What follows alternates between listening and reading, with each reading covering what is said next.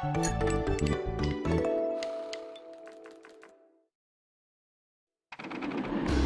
壁奇石镌刻着祖先留下的生存密码。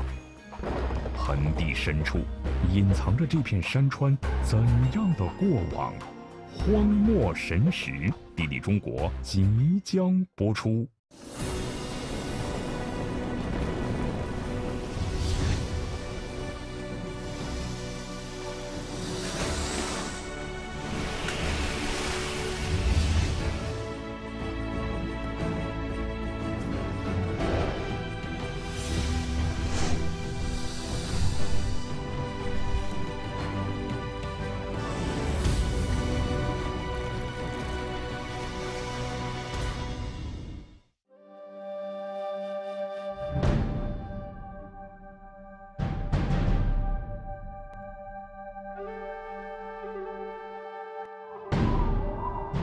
天山以北的准噶尔盆地，远离繁华，地广人稀，环境艰险。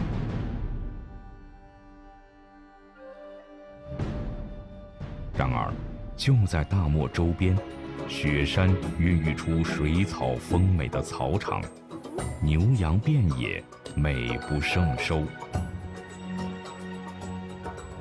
历史上，这里紧邻丝绸之路，是东西方交流的重要通道。千百年来，人们在这片广袤原野演绎出无数动人的传奇。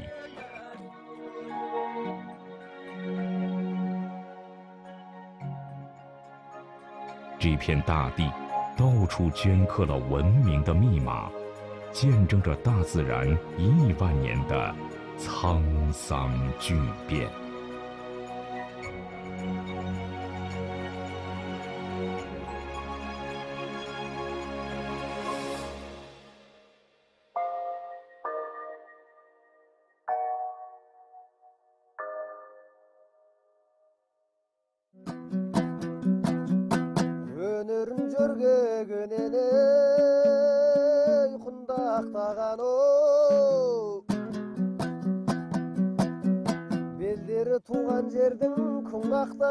初秋的准噶尔盆地北缘，壮美、高洁，如梦似幻。装点此番美景的，还有无数流传千百年的动人故事。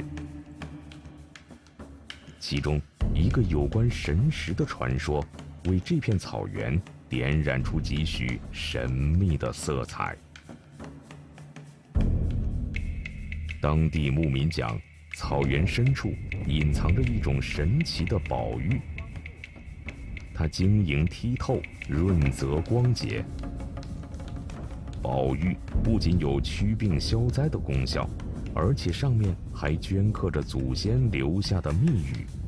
破解了密语，便能领悟到这片山川大地久远的过往。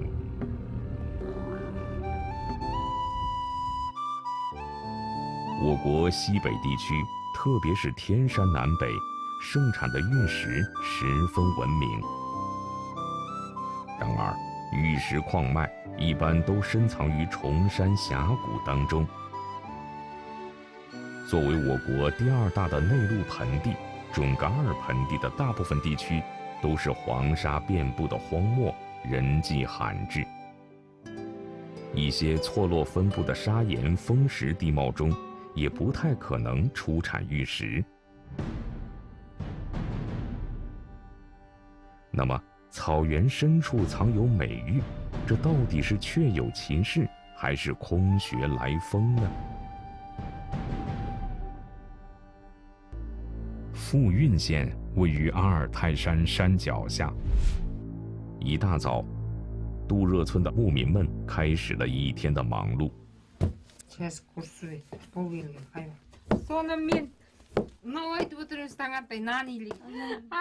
在库拉是位刚毕业的大学生，他今天的工作是和母亲一起制作馕饼。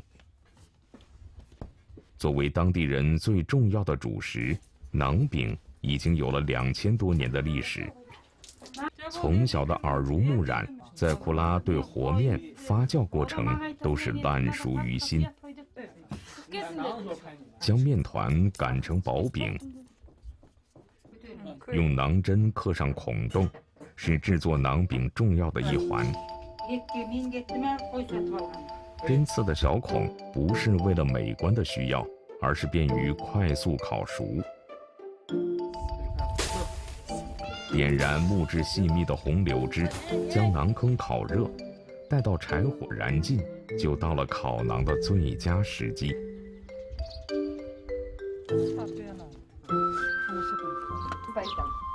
在库拉的母亲熟练地将馕坯贴到馕坑壁上。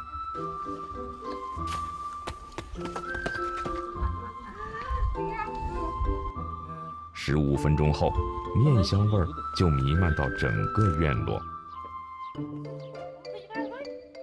经过烘烤的馕饼水分散尽，这样的馕饼可以保存一个月以上不变质。是当地百姓最便于携带的食物。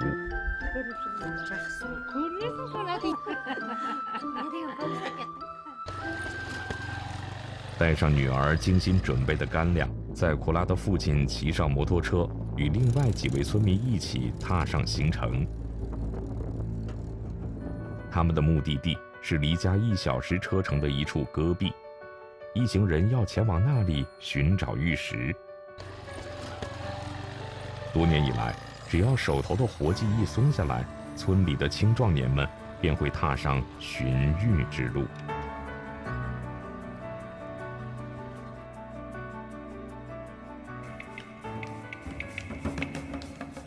草原戈壁藏有宝玉的说法，在阿尔泰山山南的村落中一直有流传。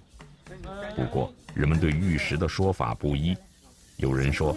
宝玉千载难逢，价值连城。有人却说宝玉没那么神秘，其实不过是河滩常见的漂亮石头。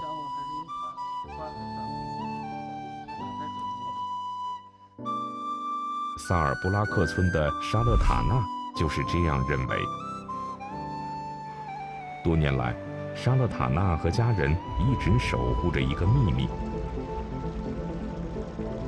额尔齐斯河的支流喀拉额尔齐斯河里有一种颜色嫩黄的鹅水石，只有每年秋季可以打捞。沙勒塔纳一家秋天时接去市场上售卖。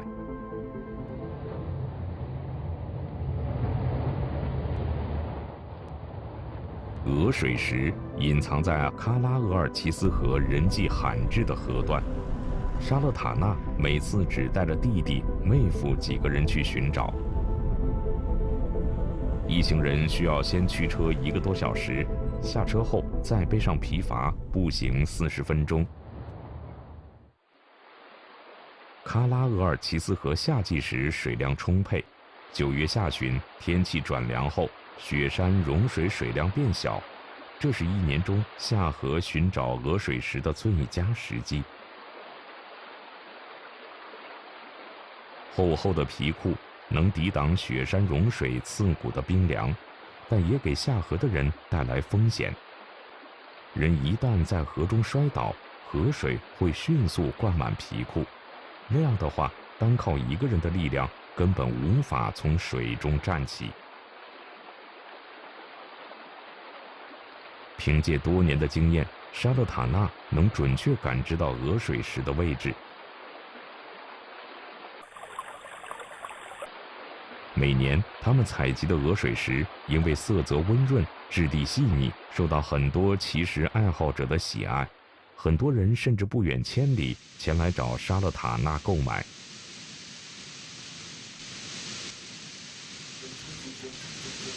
尽管如此，沙勒塔纳还是坚信，被人们传得神乎其神的宝玉，其实没那么神奇，不过就是自己捞出的鹅水石。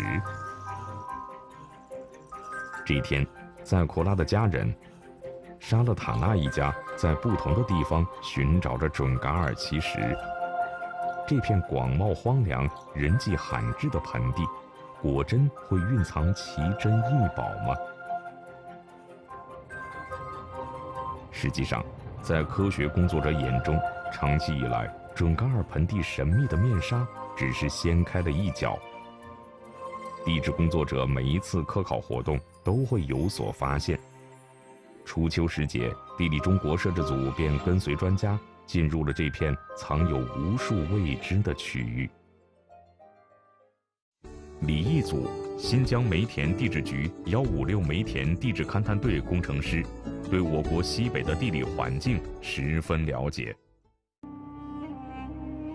队员们了解到，有记载说，早在十三世纪中叶，探险家便曾在茫茫的戈壁草原四处找寻神奇的美玉，最终竟是无功而返。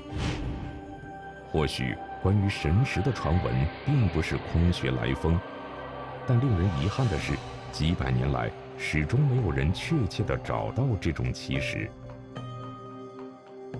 不过，人们在农闲放牧之余，还是寄希望于通过寻觅能圆一个心中的梦想。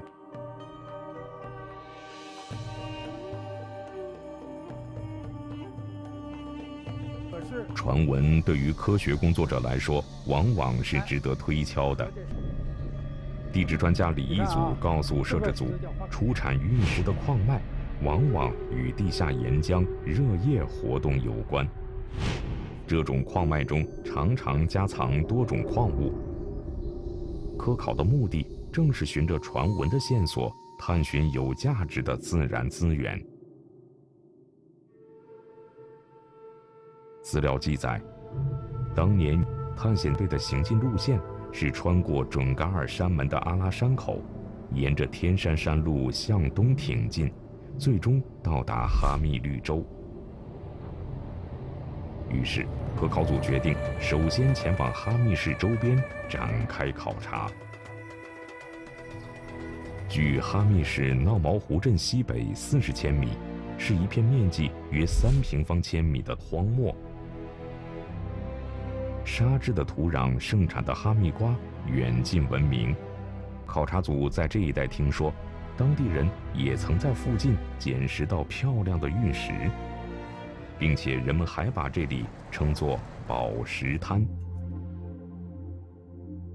一路前行，道路两旁没有一丝绿意，直射在戈壁上的阳光格外刺眼。极度的干旱将地面绘制成一张奇特而巨大的图案。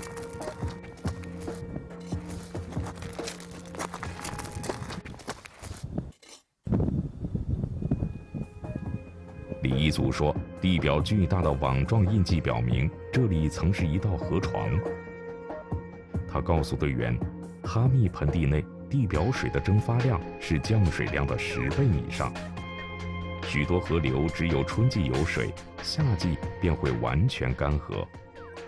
河床裸露出来，收缩、龟裂，呈现出的图景蔚为壮观。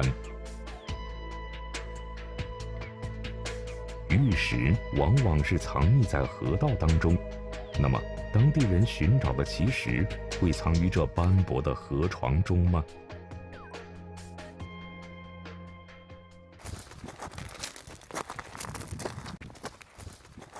沿着干涸的河床前行不远，大家眼前出现了一片碎石。远远看去，有几个人正在其间翻挖着什么。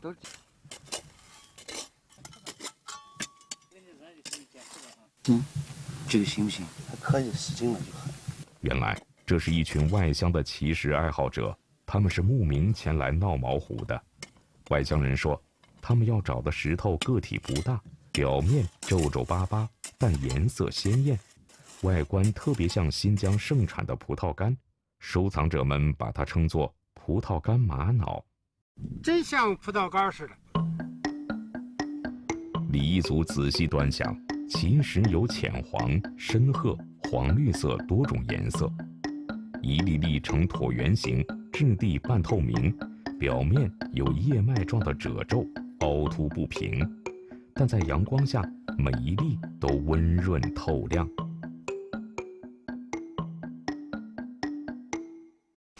这更漂亮了，这真是巧克力葡萄干啊，黑黑色的、绿色的，嗯，最好是这种颜色。哎，这种颜色对，带红色的，带红色的对。外乡人说，这种葡萄干玛瑙只分布在闹毛湖的这片荒漠，颇为珍贵。那么，这奇特的葡萄干真是玛瑙吗？它们为什么只集中在这个狭小的区域？又是在怎样的地质环境中形成的呢？李一祖站起身来，环顾四周，发现，在不远处的戈壁上分布着一片风化的残破不堪的黑色岩体。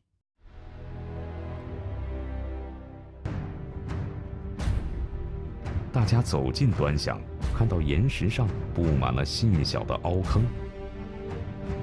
见到这样的景象，李一祖很快便有了解释。李一祖说：“这些孔洞与葡萄干玛瑙有直接关系。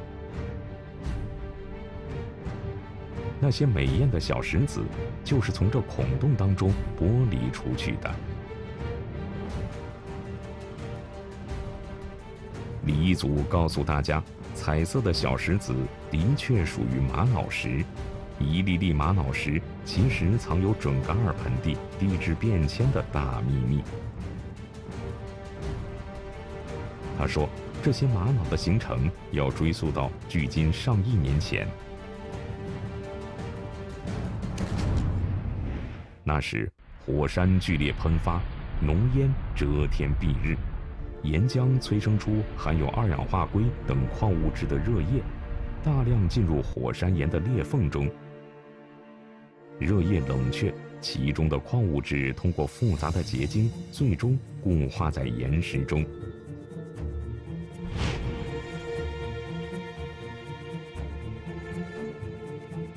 亿万年过去，当今的哈密地区经历了海侵、海退、构造抬升、冰川覆盖、洪水来犯等变迁。在这个过程中，包裹着玛瑙石的火山岩被冰川。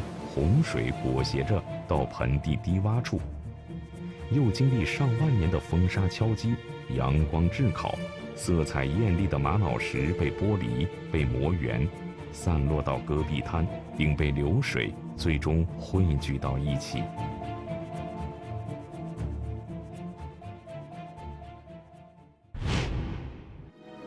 一组说：“眼前这处出露的黑色玄武岩很重要。”这些古老的火山遗迹表明，漫漫黄沙覆盖的大地深处，一定分布有断裂带。而接下来，通过研究，科考组进一步确认，闹毛湖的北部和南部均分布有各个时期的构造断裂。久远年代中，大地构造运动的挤压，加剧了岩浆热液的剧烈上涌，并将大量地深处的物质。带到地表，得出这个结论，李一祖很兴奋。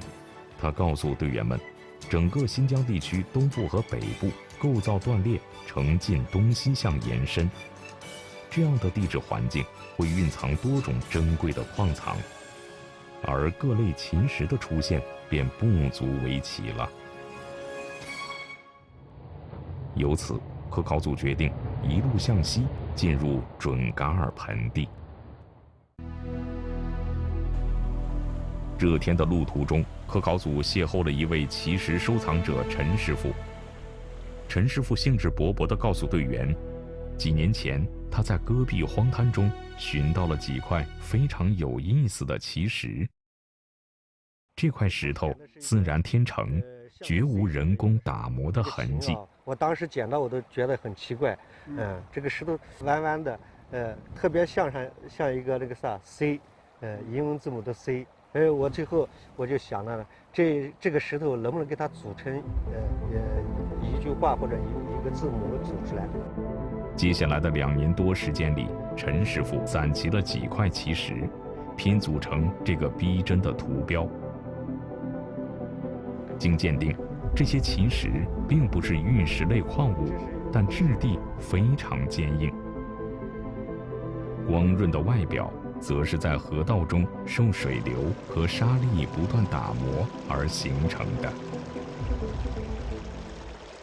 李一祖说，由于数千年来气候的变化，古河道多已干涸，并被黄沙掩埋，这使大量玉石深埋地下，难以被发现。古老的断裂遗迹，珍贵的矿物，既然与水有关，那么如何能寻到古老的河道呢？在进入准噶尔盆地不久后，科考组便途经一处大湖——马纳斯湖。万顷的湖面波光粼粼，然而四周无绿草，天上无飞鸟，整座湖一片寂寥。可以啊，你找财富的，财富的宝石。李一祖告诉队员，马纳斯湖当初曾是一座大湖，然而巨大蒸发量使湖面近百年来急剧缩小，最终使古湖演化为今日的盐湖。这个地方嘛，在整个来说是比较洼的地方，而且这条河马纳斯河，发源于天山。积年累月的天山的洪水也好，雨水也好，化学水也好，把山上风化那些土壤、岩石还有盐分的，带到了这个马纳斯湖附近最低的地方。原来盐湖的水和盐分全都来源于马纳斯河。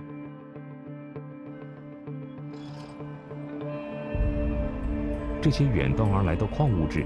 一直是这周边百姓重要的生计来源。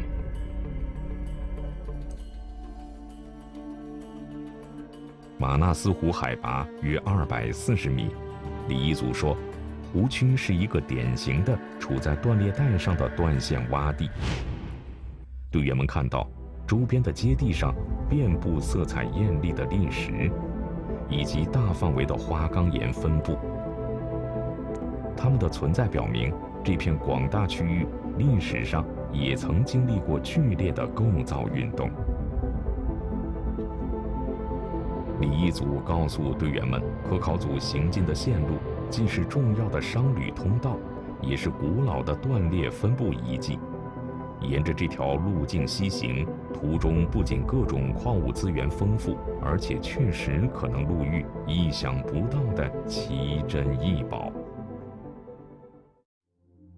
这一天，科考组进入准噶尔盆地腹地的乌伦古湖湖区。阿克阿热勒村是湖边的一个小村庄。走进村中，队员们发现，这里家家户户都堆放着大小不一的石头。小卖部里也在进行着交易。人们悉心护理这些石头，相互比较着质地、色彩。然而，这些石头看上去并无新奇之处。村民告诉科考组，这些看似不起眼的石头有着非同一般的来历，而这一切都源自一位学者近年来的一个发现。李霄，中国人民大学教授，长期从事野外考古发掘和研究。当年。正是戈壁草原奇石的传说吸引他来到了准噶尔盆地。戈壁环境艰险，随处可见的五颜六色的奇石，并没有让李霄流连。然而，一块貌不惊人的石头却让他眼前一亮。乍看上去，石头的外观、色泽与常见的戈壁石并无二致。哎，我一看，我说这个挺好啊，呃，我也在那看，哎，结果突然呢，就发现了这个这块石器。李潇凭着专业的眼光，发现这块石头底部平整，上部有切割的平面，整个石头如同一个龟壳，极像是人为打制的。啊，比如一个圆石头，它中间劈开，它把这个背面啊，这中间呢有一个平台，再给它打掉，打成一个人工台面出来。李潇敏锐地意识到，眼前的石头非同寻常，十有八九是一件石器时期遗留下来的器物。就这种龟背形的石盒，啊，像像乌龟背一样的啊。它就形成了很锋利的刃儿，然后呢，它就可以呢，把这个攥到手上呢，去砸啊，所以这个呢实际上就是手斧。此后，经过细致的研究比对，考古界证实，这是一件数万年前古人类打制的石具。这一发现引起轰动。接下来。李潇在福海县与河布克塞尔蒙古自治县等地区又接连发现大量古人类遗址。这些发现标志着，在久远的石器时期，新疆地区已经有人类活动。同时，各种迹象显现，那时的准噶尔盆地及周边区域，自然环境与现如今有着较大差异。看似普通的戈壁石，却记录着古人类、古环境的丰富信息。李一祖在仔细观察后确认，这些记录古人类密码的荒漠奇石是二氧化硅含量很高的变质结晶矿物，它们是强烈构造运动中高温高压环境锻造的产物，质地异常坚硬。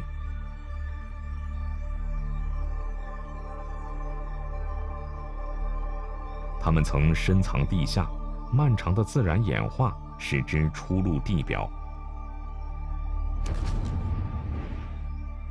而他们被烈焰锻造出的强韧，最终被准噶尔盆地最早的先民奉为天赐之物，伴随他们度过了艰难的岁月。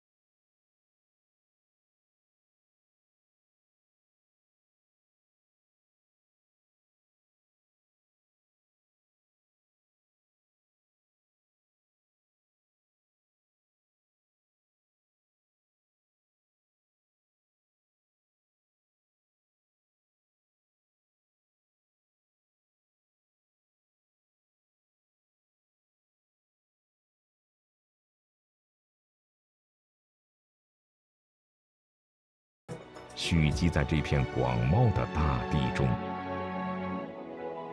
与此同时，地球的伟大力量塑造了这片大地光彩夺目的自然音画，催生出丰富而灿烂的文化，让我国的西北边陲新疆成为专业人士探秘自然的圣地，和无数人心驰神往的诗和远方。